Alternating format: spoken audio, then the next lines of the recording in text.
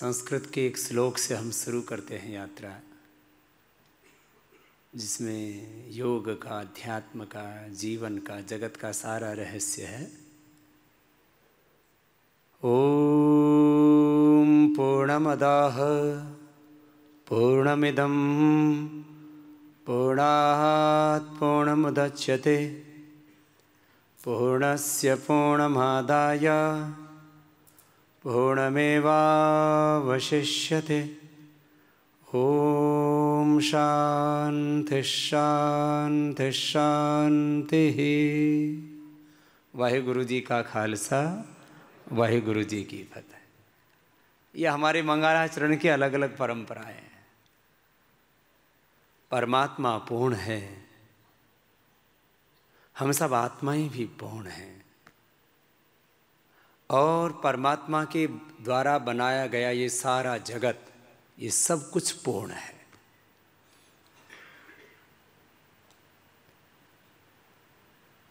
पुरुष यदि सोचे कि मैं स्त्री के द्वारा पूरा हो जाऊँगा तो ये उसका मिथ्या ज्ञान है। और इस मिथ्या ज्ञान से, इस अविवेक से, इस अज्ञान से, इस अंधकार से हमें पार लेकर के आते हैं सदगुरु।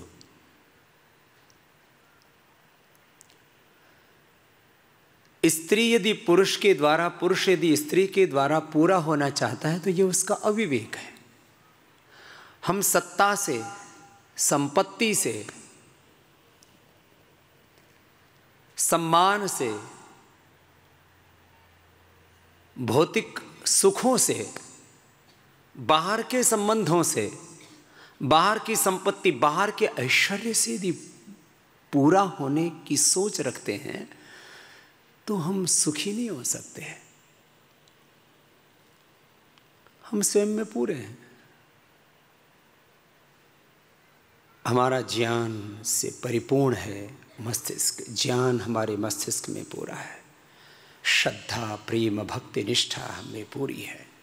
पुरुषार्थ हमें पूरा है, सुख शांति, आनंद हमें पूरा है। स्वयं में पूर्णता, समष्टि में जो पूर्णता की अनुभूति करता है, उसको दुख, लेश मात्र भी कभी होता ही नहीं।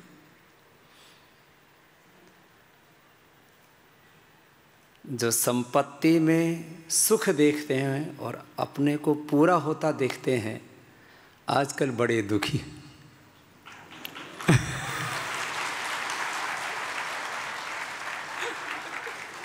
बोले, बाबा जी, बाहर से काला धन कब निकलेगा? हमको पता नहीं, हमारी बीबी के यहाँ से काला धन निकल आया। किसी की बीबी के यहाँ से पाँच लाख का काला धन निकल रहा है।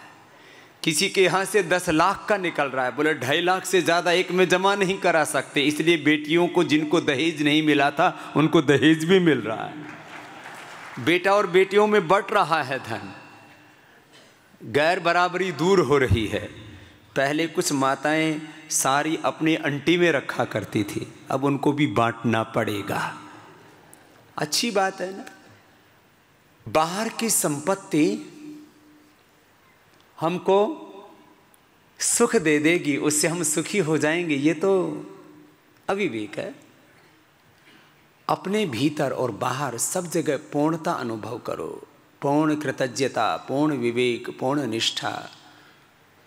अखंड निष्ठा प्रचंड पुरुषार्थ के साथ, पूर्ण आनंद के साथ जीवन को जियो, बस यही तो योग है। और ये जो संत महापुरुष हमें यही बोध कराते हैं कि सुख तो तुम्हारे भीतर है, बाहर जो तुम कर रहे हो, ये सब इस समष्टि के प्रति तुम्हारी कृतज्ञता है। कितने उपकार हैं इस समष्टि के हम पर। अभी पिछले दिनों बीबीसी की एक पत्रकार आई कि बाबा जी आपका इंटरव्यू लेना है। तो बहुत से प्रश्न पूछे, उसमें एक प्रश्न ये भी था कि आप देशभक्ति को कैसे देखते हो? मैंने कहा, मैं देशभक्ति को, देश को अपने देह में देखता हूँ कि मेरे शरीर की एक एक कोशिका इस देश की मिट्टी से बनी है। इसलिए मेरे शरीर में जितने कोशिकाएँ उतनी बार भी मैं जन्म लूँ और मातृभूमि की सेवा करूँ तो भी कम पड़ता है। मुझे देश मेरे देह में दिखता है। इस देश की मिट्टी से बने अन्न जल को खा करके हमारा देह बनता है। बॉडी का रॉ मटेरियल तो फ़ूड है, हमारा वाटर है एयर है। एक सेल में सेवेंटी परसेंट वाटर होता है। थर्टी परसेंट उसमें सॉलिड मटेरियल होता है। इस देश का हमने जल पिया है, इस देश का अन्न खाया है। इस, ये मिट्टी सजीव है। प्रधानता के साथ ये कथन कर दिया जाता है कि ये जड़ है, ये चेतन है। कौन सा ऐसा जड़ पदार्थ है जहाँ चैतन्य नहीं है, जहाँ प्रभु की सत्ता नहीं है? वासुदेव है सर्वम।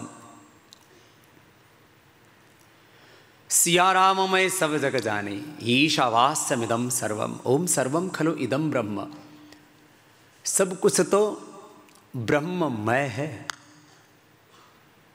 तो मैं कह रहा था, ऐसी दिव्यता, ऐसी पूर्णता अपने भीतर निरंतर बनी रहे कि मैं पूरा तो स्वयं में हूँ। दस साल पहले मैं यूके में था, तब वहाँ टाइम्स का की एक पत्रकार बहन आई, बाबा जी, आपने शादी क्यों नहीं की? मैंने कहा, इच्छा ही नहीं हुई। कभी ऐसे मन में नहीं आया। नहीं, फिर फिर भी बोले, फिर भी क्यों नहीं की? मैंने कहा, इच्छा ही नहीं हुई तो क्या करूँ? तो बोले, आप किसी लेडीज़ को देखते हैं तो आपको क्या दिखता है? मन को उसमें भगवान दिखता है। बोले, और क्या दिखता है? मैंने कहा, अब और तो कुछ हमें दिखता ही नहीं फिर भी बोले, क्या दिखता है? मैंने कहा हार्ड मांस दिखता है। और क्या दिखता है? मैंने कहा, इसके भीतर मलमूत्र दिखता है। हम जो दिखता है, उसी को पूर्ण सत्य मान लेते हैं। जो दिखता है, वो सामान्य सत्य है। और जो नहीं दिखता, वो पूर्ण सत्य है। ये देह दिख रहा है, ये पिंड दिख रहा है, ये ब्रह्मांड दिख रहा है, ये सामान्य सत्य है। इसके पीछे न दिखने वाला ब्रह्म, वो पूर्ण सत्य है। यही तो हमें गुरु बोध कराते हैं।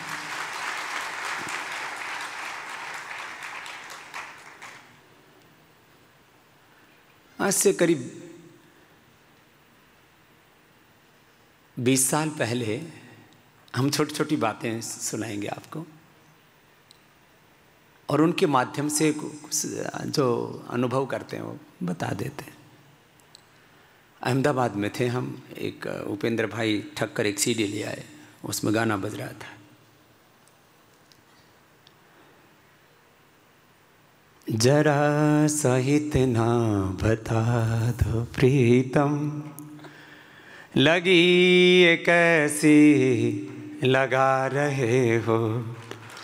मुझमें रह कर मुझी से अपनी ये खोज कैसी करा रहे हो? हृदय में तुम हो, तुम ही हो धड़कन। प्रेम भी तुम हो, तुम ही हो प्रेमी। पुकारता दिल तुम्ही को क्यों फिर? जब दिल में तुम समा रहे हो, तब से माता जी दिल में समा गए। हमने बोला कि भाई, ये गाना किसका बजा रहे हो? बोले, ये गुरु माँ का गाना है। हमने देखा, ये तो बड़ी स्मार्ट सी दिखती है।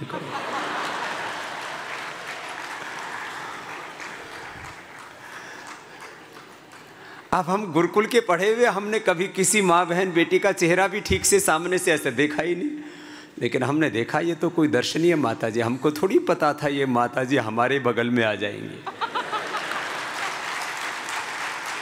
और उनसे माता से ऐसा नाता जुड़ जाएगा। अब हम इनको बोले एक दिन, हम कहा, हम आपको माता कहें, हम आपको बहन जी कहें, गुरु माँ कहें। कौन सा नाता है? कुछ समझ में नहीं आता है। लेकिन यही अध्यात्म है, जो हमें सब संबंधों के पार लेकर के जाता है और सब संबंधों में आत्म संबंध को जोड़ देता है।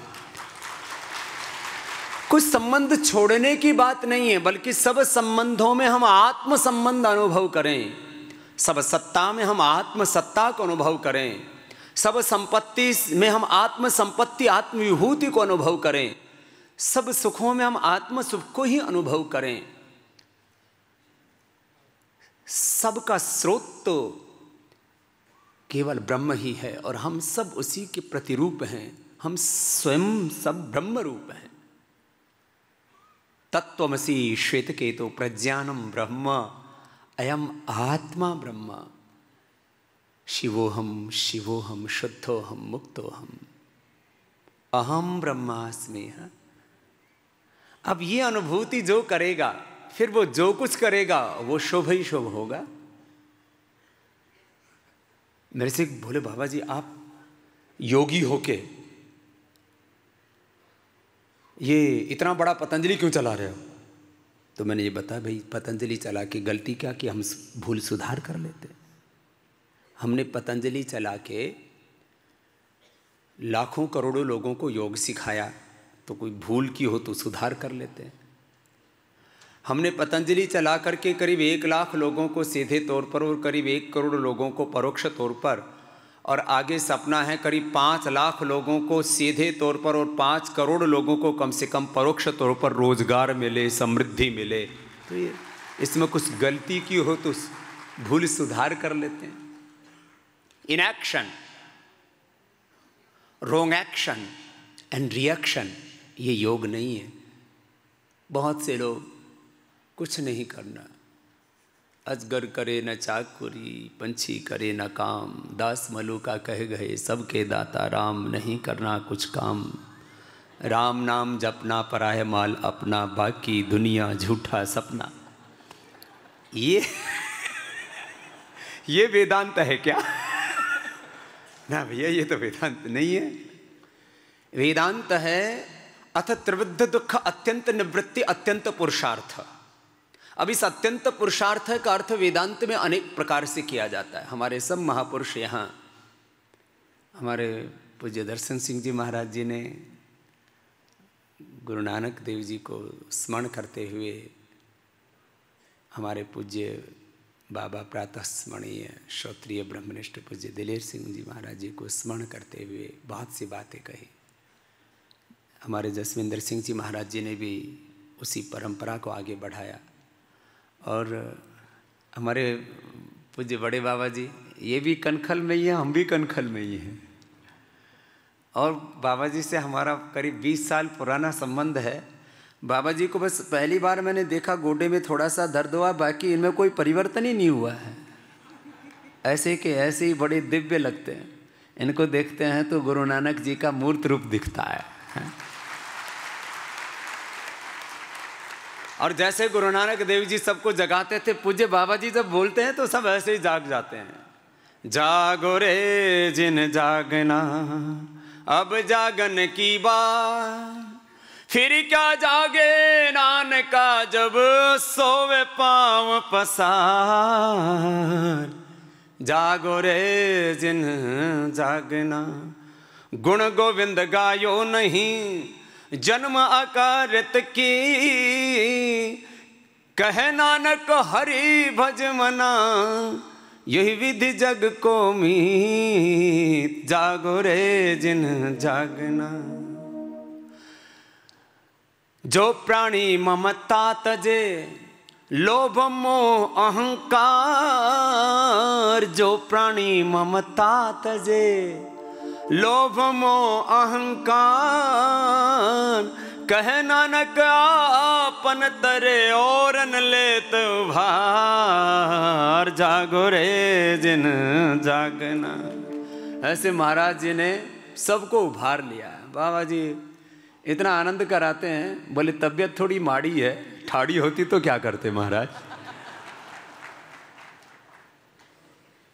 ये संत अपने को जगाते हैं, जागो। हम जागते हुए भी सोए रहते हैं। और जहाँ सोना चाहिए, वहाँ जाग रहे होते हैं। इसलिए इससे हम जागृति भूतानी सा निशा पुष्य तो मने। जिसमें सारा संसार सोया रहता है, वहाँ योगी जागता है, अपने आत्म स्वरूप में। और जहाँ संसार जागा हुआ है, वहाँ योगी सो जाता है। ये जो संसार की जो पहली है ना, उसको सुलझाने का काम करते हैं संत महापुरुष। पानी में मीन प्यासी रे महे, सुन सुन आवत हासी, आत्म, ज्ञान बिना नर भटके, कोई मथुरा, कोई काशी। जैसे मृगा नाभि कस्तूरी, बन बन फिरत उदासी। जाको ध्यान धरे विधि हरिहर। मुनिजन सहस अठासी। सो तेरे घट माही विराजे परम पुरुष अविनाशी। है हाजिर कि ही दूर बतावे दूर की बात निराशी। कहे कबीर, सुनो भाई साधो, गुरु बिन भरम न जासी रे महे, सुनी सुनी आवत हासी। तो आप सबका सौभाग्य है, ऐसी गुरु माँ मिली हैं जो आपके सब भ्रम दूर करके और आपके भीतर का आत्मबोध जागृत कर आत्म विस्मृति, यही हमारे दुख का सबसे बड़ा कारण है।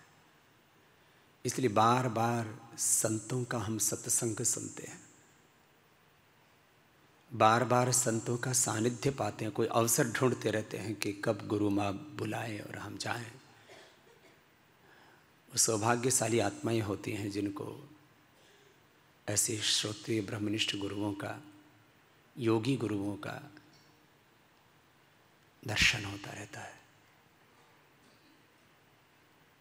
उनके दर्शन मात्र से अपने आत्मस्वरूप की स्मृति हमें हो आती है।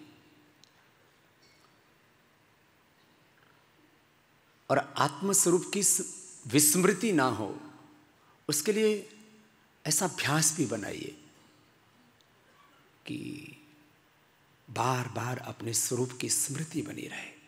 इसलिए हम सुबह उठ कर के गुरवाणी पढ़ते हैं, स्वाध्याय करते हैं।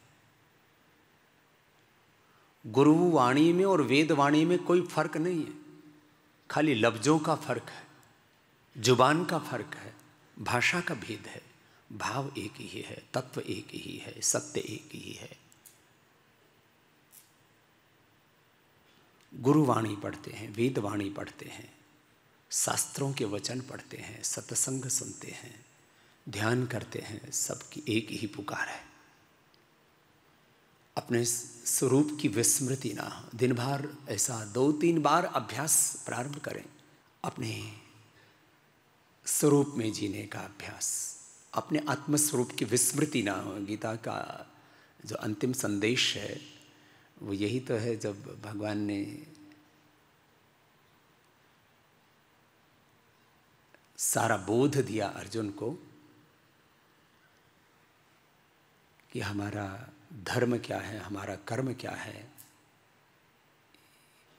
और ये जीवन क्या है, जगत क्या है, सत्य, परम सत्य, सनातन सत्य क्या है? तो अंत में कहा, नष्ट हो मोह। मेरा मोह नष्ट हो गया। और मोह नष्ट होते ही क्या होता है? स्मृति लब्धा। अपनी स्मृति हो आती।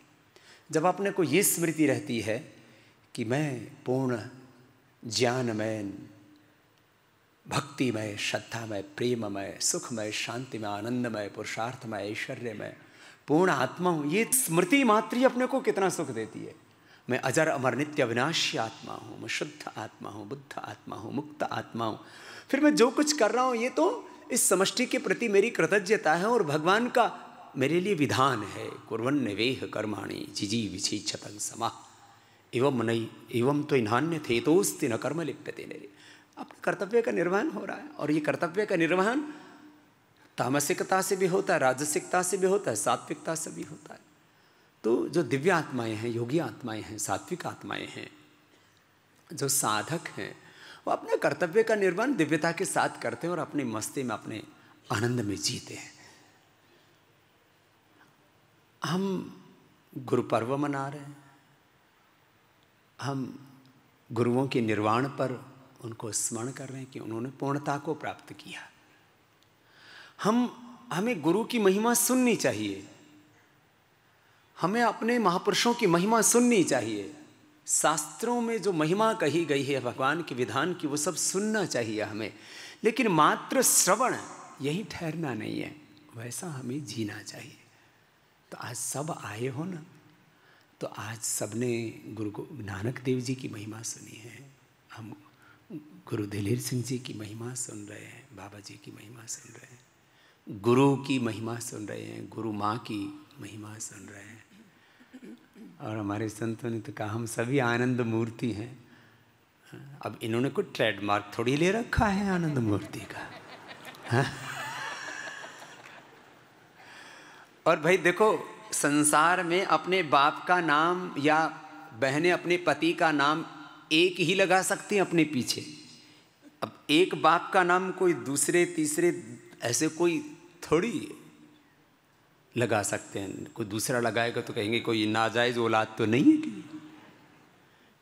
संसार में एक पुरुष या एक स्त्री का नाम कोई एक का ही पीछे लग सकता है। माता या पिता आदि का लेकिन गुरु का नाम गुरु माँ का नाम ऐसा है जो सबके पीछे लग सकता है। तो आप सभी आनंद मूर्ति हो। और हम भी आनंद मूर्ति हैं हम साहब हाँ?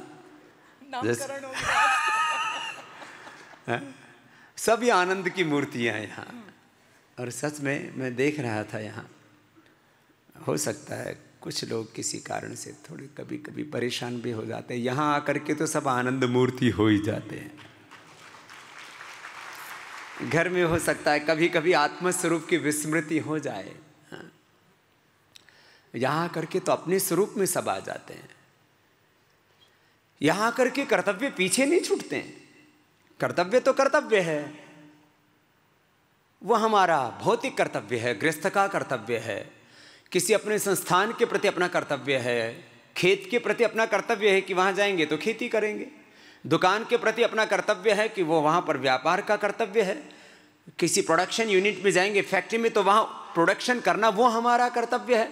सब कर्तव्य हैं, लेकिन ये यहाँ पर आते हो, ये परम कर्तव्य है। ये परम धर्म है, वो गृहस्थ धर्म है। गृहस्थ धर्म है, व्यापार भी एक धर्म है, राजनीति भी एक धर्म है, हमारा कर्म ही हमारा धर्म है। स्वकर्मणा तम अभ्यर्थ सिद्धि मिंदति मानव शिष्य कर्मणि अभिरत।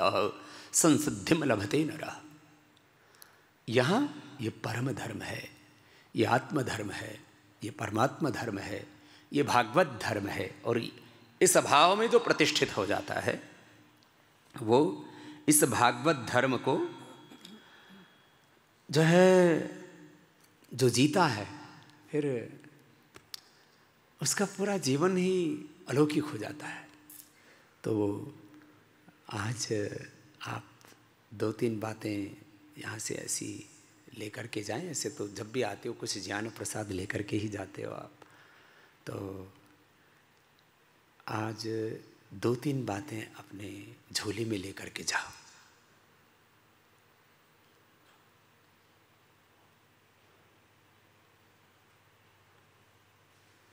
संतों के पास जब आते हैं ना तो झोली भर के जाते हैं। हम सब मिलके दाता आए, तेरे दरबार भर दे झोली। सबकी तेरे पूरण भंडार, लेके दिल में फरियाद करते हम तुमको याद। जब हो संकट की घड़ियाँ मांगे, तुमसे फरियाद सबसे बढ़ के जग में ऊँचा तेरा धार भर दे झोली। सबकी तेरे पूर्ण भंडार। तो अपनी झोली भर के जाना क्या? दो तीन बातें बताता हूँ, ज़्यादा नहीं। ज़्यादा तीन से ज़्यादा बात बताओ ना तो याद ही नहीं रहती। किसी से पूछो, आज बाबा जी क्या बोले? बहुत अच्छा बोले, आनंद आ गया। अरे, क्या बोले? बोले, ये मत पूछो, क्योंकि याद ही नहीं हमको एक दो बातें याद रहती हैं, तीसरी भूल जाते हैं। बहुत प्रयत्न करें तो याद रह पाता है। तो एक बात तो ये याद करके जाओ कि तुम स्वयं में पूरे हो। तो फिर तुम्हें ज़िंदगी में कभी दुख हो ही नहीं सकता। ऐसे नहीं कि फिर तुम जगत में काम नहीं करोगे, पुरुषार्थ नहीं करोगे। तुम्हें सफलता भी मिलेगी, समृद्धि मिलेगी, प्रसिद्धि भी मिलेगी, सब कुछ मिलेगा। लेकिन उसके पीछे मत दौड़ना। वो तो सब बाय प्रोडक्ट है। जैसे मुझसे लोग पूछते हैं, बाबा जी, आप क्या कहेंगे? इतना बड़ा ब्रांड बना दिया आपने। इतनी बड़ी सक्सेस आपने पाली। इतनी बड़ी प्रॉस्पेरिटी आपके पास। सारी दुनिया में आपकी प्रसिद्धि। आप क्या कहेंगे? मैंने कहा, भैया, हमको नहीं पता ही क्या? हमने तो योग किया और कर्मयोग किया। ये सब बाकी सब बायो प्रोडक्ट है समझ में आई बात? योग करो, कर्मयोग करो, बस। पूर्णता अनुभव करो, पूर्णता से जीवन को जियो। बाकी जो कुछ होगा, ये तो भगवान की कर्मफल व्यवस्था, भगवान की न्याय व्यवस्था है। भगवान का विधान है। उसमें अपने को क्या हस्तक्षेप करना?